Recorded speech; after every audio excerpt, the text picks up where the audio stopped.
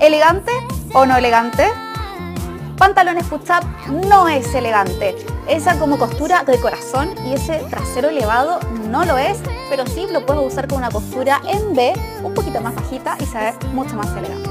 ¿Elegante o no elegante? Logomanía, fatal, no es elegante. Por favor, no te llenes de Gucci Prada, ¿verdad?